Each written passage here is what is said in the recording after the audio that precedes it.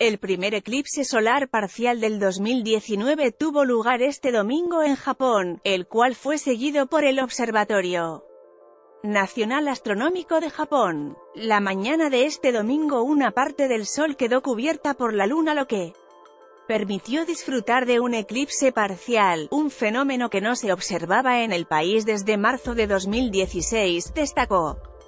NHK, en la ciudad de Sapporo, en el norte del archipiélago, cerca del 40% del sol fue ensombrecido a las 10 y 13 de la mañana hora local. En Tokio, a las 16 de la mañana, el eclipse era del 30%. En muchos puntos del país se registraron concentraciones para observar el fenómeno.